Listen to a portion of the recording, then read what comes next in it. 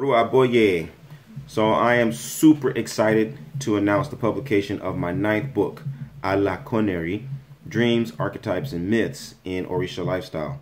This is a continuation of the personal priesthood certification process through which I am introducing you to step-by-step methodology for exploring an inside-out approach to Yoruba spirituality.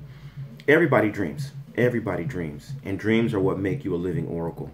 Dreams are what make you into a diviner. So in this book, I'm taking you through a step-by-step -step process for analyzing your dreams and then interpreting your dreams so that you can then start to act on the messages that come to you naturally from the ancestors, from Egbe, from the deities, or from your, your own destiny. So I want you to check out the book, obafemio.com forward slash publications. Look out for the upcoming course on dream interpretation and keep living the medicine. Aboraboye. Aboshisha.